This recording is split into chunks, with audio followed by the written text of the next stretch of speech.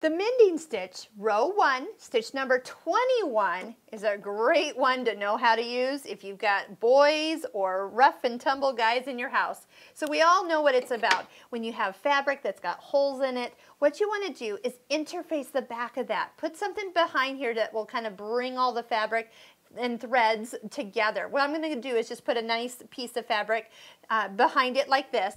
Now, as we stitch, I'm going to put the rip in and start in the top left-hand corner here, kind of above it and up into the right, uh, up into the left as the first row of stitching. So I'm going to kind of just position it because once we start, notice the reverse button that's on screen here is going to indicate how we're going to tell the machine how long this opening is. So it's going to start stitching down the left needle position. So I'm going to get down a little ways and I'm going to touch the reverse button one time. That's all I need to do.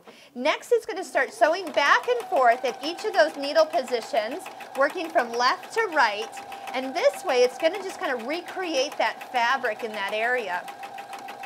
One thing nice is if it counted like say 11 stitches forward, it's doing 11 back and 11 forward and back and forth. That's what we did by telling it how long we wanted that rip to be. So just let it sew until it stops. Now if you have an opening that's much bigger, what you're going to do is go ahead and stitch as far as it will from left to right of the foot. Here we are, we're stopped.